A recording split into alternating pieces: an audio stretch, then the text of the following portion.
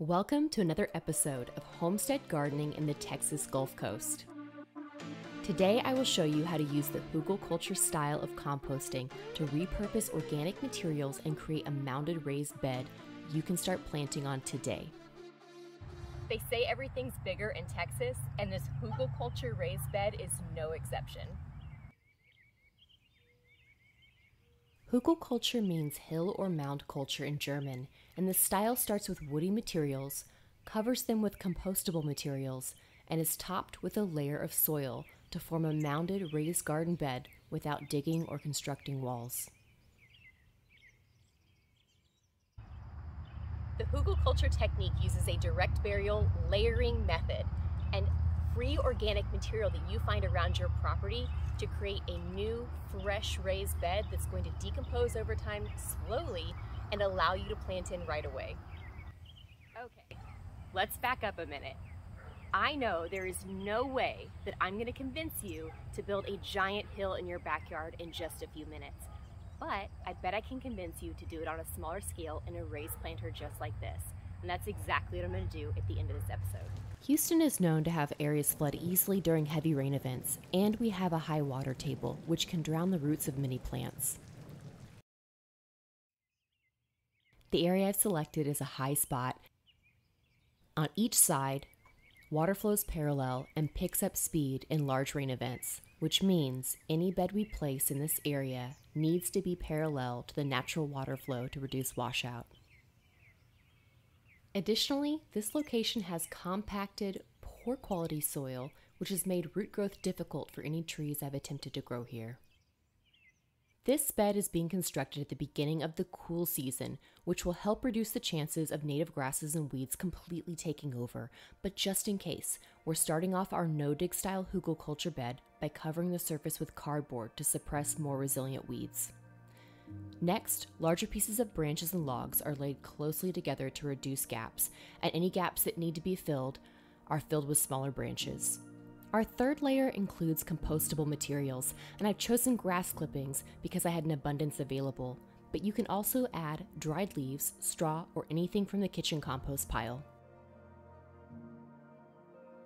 Our fourth layer adds a finished leaf mold compost, and at the same time, this will help give more structure to the mound.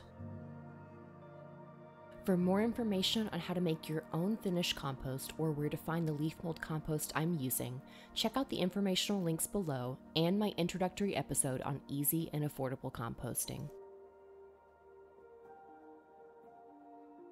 The bed will be topped off with soil, and I chose to mix native soil with the garden soil used from the previous season.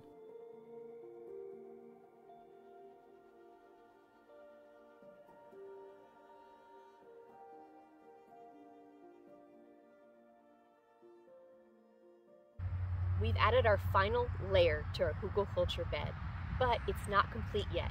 We actually want to make sure that our soil is stabilized and we don't have erosion during the next few months.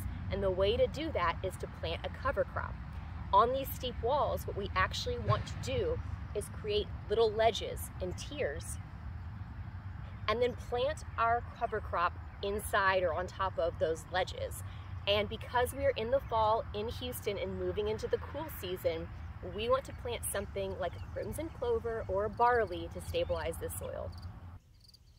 If you love this technique but don't have a lot of space to try it in, you can use the same style to fill a constructed raised bed planter. There are two suggestions I'd like to make that I think you should do differently when applying this method to a raised bed instead of a mound like you saw earlier in the episode. First, the size of your woody materials should be smaller limbs and branches broken into pieces instead of larger limbs and logs like what was shown in the earlier mounding example. Second, top the bed with a mulch layer instead of planting a cover crop so that you can keep moisture in the bed. Continue to water this bed until you're ready to plant. This bed will sink as it decomposes, but you can still plant right away by pulling back the mulch and starting your seeds. Make sure to select a type of plant that won't be challenged by the branches below. Thanks so much for learning with me. For more information on today's episode, check out my podcast at the link below. Don't forget to like this video and subscribe so you can join me in the garden each week as I introduce you to new ideas and interesting plant selections just for you. Really? Another plane? I don't even see it. This is taking forever.